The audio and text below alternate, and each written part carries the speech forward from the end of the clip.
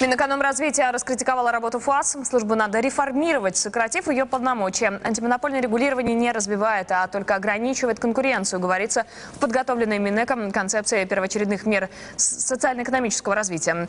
В документе ФАС посвящается целая отдельная статья, об этом пишет ведомости. Российская антимонопольная служба рекордсмен по количеству дел. По данным Минэкономразвития, в прошлом году их было более двух с половиной тысяч. В 20 раз меньше таких дел у Ирландии, в 30 у Польши. Но в США всего 16 дел в за год. Антимонопольные дела в России возбуждаются по формальным признакам, считает министерство, а качество расследований плохое. Последние шесть лет конкуренция не развивается, потенциал модели регулирования исчерпан, и вот что предлагает в мэр.